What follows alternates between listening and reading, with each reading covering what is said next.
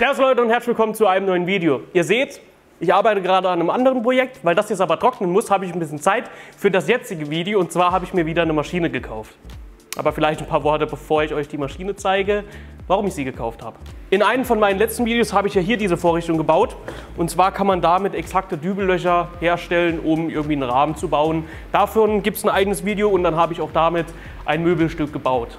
Jetzt funktioniert das schon relativ gut, aber es gibt natürlich noch bessere Maschinen, wie zum Beispiel eine Langlochbohrmaschine und ich habe auch dazu tatsächlich schon angefangen, erste Skizzen zu machen, denn sowas kann man eigentlich relativ gut selbst bauen.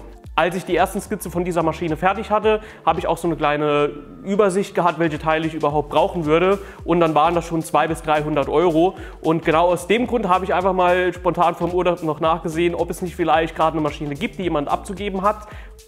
Und ja, es gab eine Maschine, die steht jetzt dort hinten. Ich werde euch die Maschine gleich genauer zeigen, aber als erstes müssen wir so ein bisschen unten was machen, denn die ist jetzt noch auf die Palette gespannt, sonst würde das Ganze rumkippen. Das bedeutet, ich hole mal das ganze Teil raus und dann müssen wir ein bisschen was zuschneiden.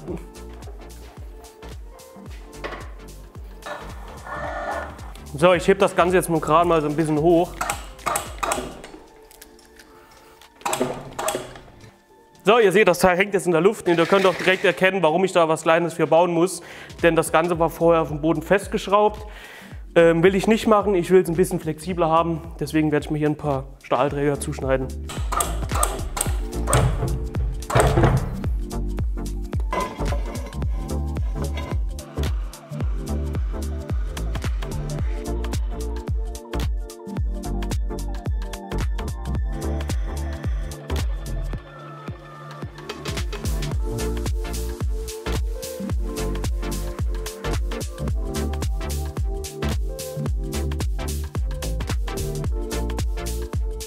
Gestern habe ich noch die Schwalbenverzierung so ein bisschen eingestellt. Ich sehe aber gerade, ich muss gleich nochmal nachstellen.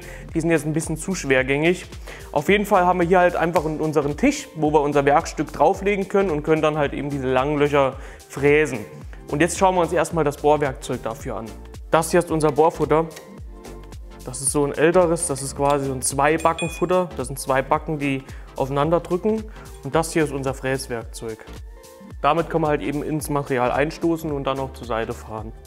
Diese Langlöcher sind mit diesem 12er Langlochfräser entstanden. Ich will aber eine Nummer kleiner holen, weil ich in den meisten Fällen nicht so massive Verbinder brauche. Das hier ist jetzt ein 10er Langlochfräser. Kommando zurück, ich werde doch wieder den 12er Fräser nehmen, denn mein Bohrfutter kann nicht kleiner als 12 mm aufspannen. Also wir wollen jetzt ein Langloch fräsen. Ich werde jetzt meine Maschine auf 30 mm breite Langloch Langlöcher einstellen plus 2 mm Zugabe. Warum ich das mache, seht ihr später, denn wir werden uns noch diese passenden Verbinder selbst herstellen. Das bedeutet, dass ich mir jetzt hier einmal einen 32 mm breiten Strich gesetzt habe und da kann ich jetzt meine Anschläge passend zu einstellen. Die Frästiefe stelle ich hier mit ein. Also meinen rechten Anschlag habe ich schon gestellt, das ist dieser hier. Anhand dessen werde ich jetzt mein Holzstück mal positionieren.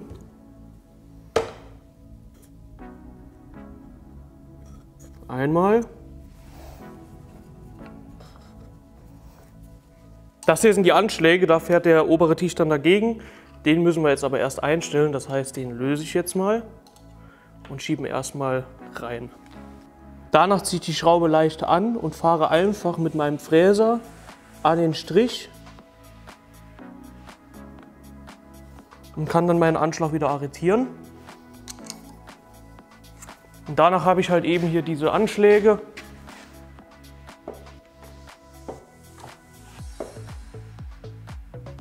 Da habe ich jetzt irgendwas falsch eingestellt. So, ich habe jetzt auf der anderen Seite den Anschlag auch nochmal eingestellt. Und jetzt haben wir schon mal unser Langloch positioniert. Was ist eigentlich mit der Fräserhöhe? Wir können natürlich schauen, dass ich den Fräser perfekt mittig ausrichte, ist aber eigentlich gar nicht notwendig. Denn wenn wir einfach den Rahmen, so wie man zusammenbauen, immer mit der Oberseite nach oben hier drauf legen, ist es ja egal, ob unser Fräserloch außer mittig ist. Es muss nur gleichermaßen sein. Deswegen stelle ich das jetzt grob auf die Mitte und das war es dann auch schon. Fertig. Als nächstes heißt natürlich, dass wir die Maschine starten können. Dafür fahre ich auf eine Kante, schalte die Maschine ein, tauche in das Material rein und bewege mich dann so vor.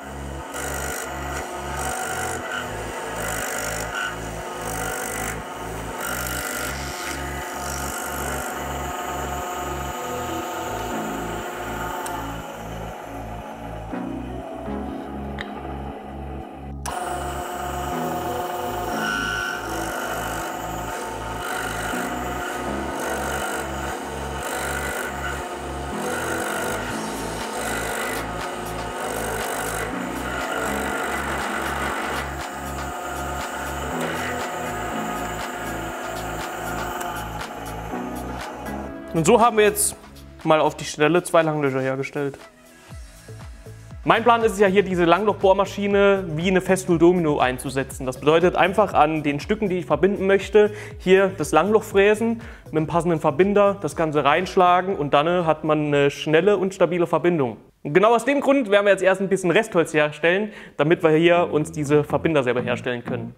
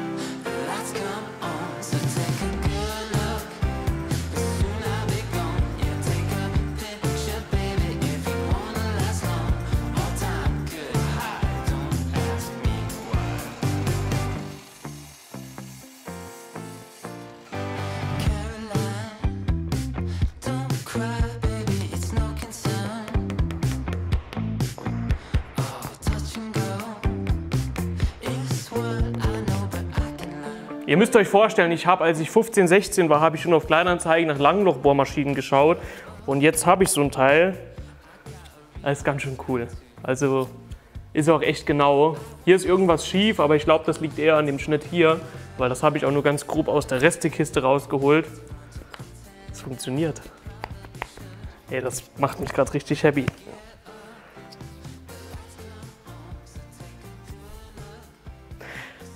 Oh, ist das schön, wenn das funktioniert.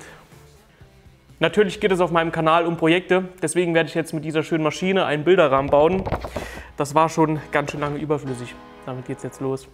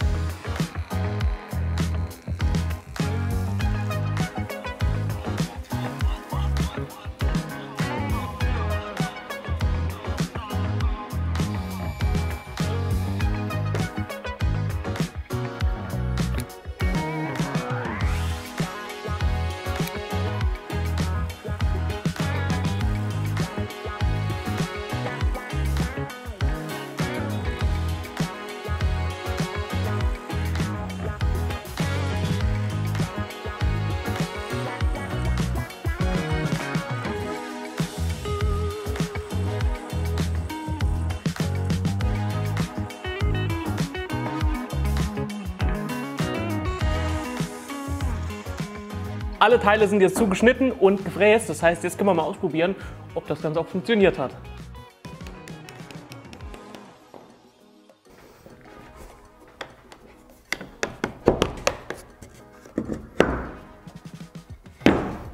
Das hat funktioniert. Wir haben einen super stabilen Rahmen und es ganz schnell jetzt selbst gebaut. Das ist nicht schön. Die perfekte Maschine, um solche Hölzer zu schleifen, ist auf jeden Fall der Kantenschleifer. Aber der ist mittlerweile echt nicht mehr viel.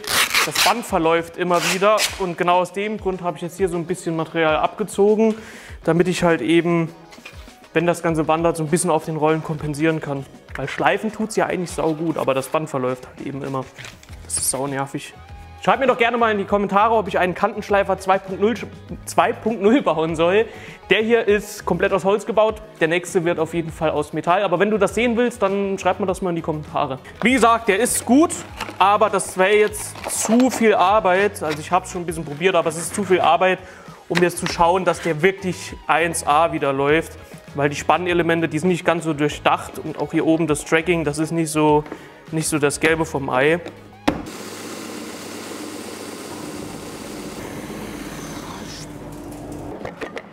Nee, du machst doch nur die ganze Bänder kaputt mit dem Ding.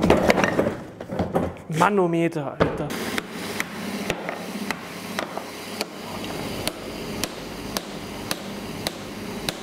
Das Ding fliegt auf jeden Fall in Schrott. Ey, das riecht mich so auf teilweise.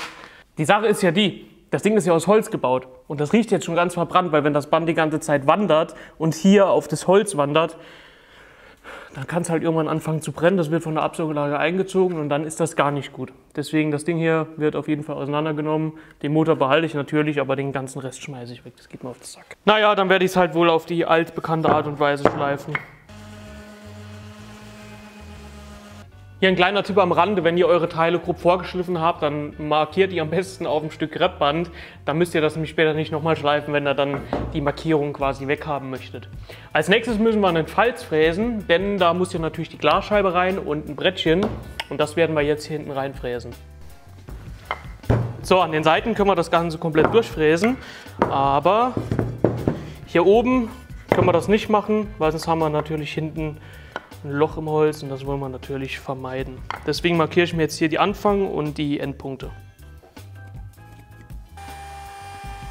Ihr seht diese Ecken hier, die sind jetzt noch nicht so sauber gefräst. Ich habe auch echt tatsächlich hier ein bisschen mehr Luft gelassen.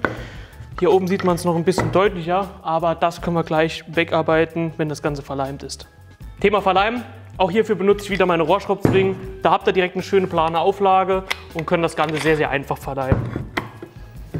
Das meine ich, wir haben jetzt hier eine schöne Auflage. Natürlich müsst ihr auch hier bei den Rohren schauen, dass da kein Holzleim drauf ist, aber wegen dieser großen Fläche kann man das hier ganz einfach, wenn was da wäre, wegkratzen.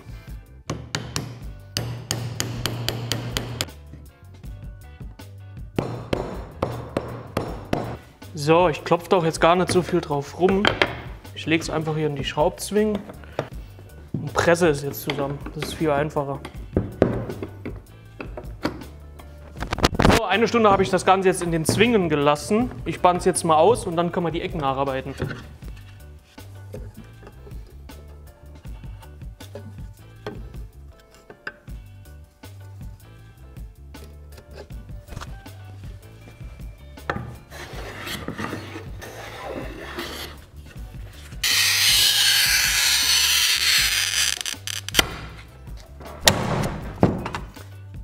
Und es hat funktioniert.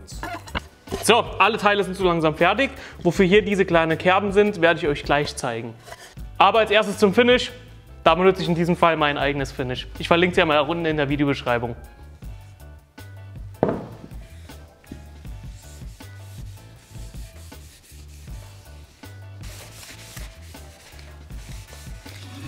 Die ganzen Teile habe ich jetzt behandelt. Das kann ich jetzt rumdrehen und jetzt können wir mal anfangen, alles zusammenzubauen. Als nächstes kommt das Bild. Und jetzt kommt unser Holzbrettchen hier rein. Und da habe ich halt eben einen kleinen Tipp für euch. Ich nehme jetzt hier einfach solche kleinen Nägelchen, halte sie mit der Zange fest in die Schräge hier rein und klopfe das Ganze dann erstmal fest.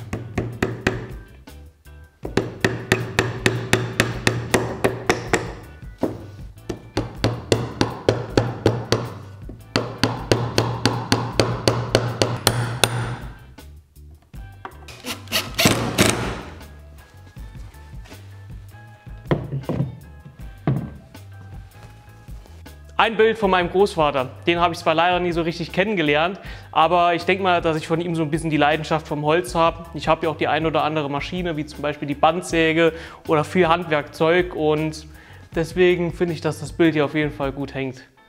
Ich war so 15, 16, 17 Jahre alt, als ich schon immer nach diesen schönen Maschinen hier geschaut habe.